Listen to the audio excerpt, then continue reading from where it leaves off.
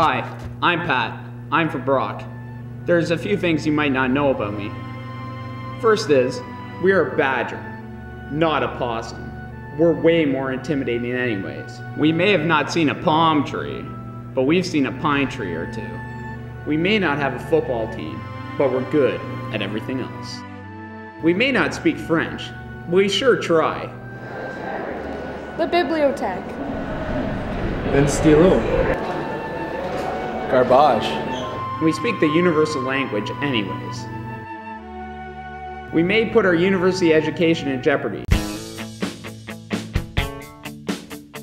But we always make the deadlines. We may have a small campus, but we've erected the base tower. We buy Brockware because it never goes out of fashion.